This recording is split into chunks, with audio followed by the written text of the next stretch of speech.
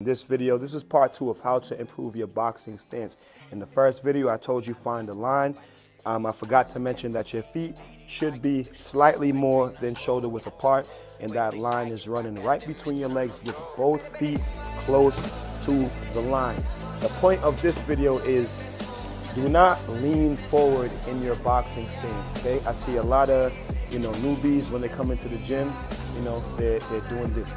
If you're gonna lean, first of all, your weight should be like right about balanced. If you're gonna lean on either leg, it should be slightly on your back leg. But do not lean on your front leg. Do not put all your weight on your front leg. Um, one of the classic sayings that we like to say in the gym, only fools rush in and only fools put their head in the middle of the pocket to be hit. So if you're gonna lean on either leg, lean slightly on your back leg, but try to keep that weight nice, nice and balanced and stay on that line because again, the fighters that improve the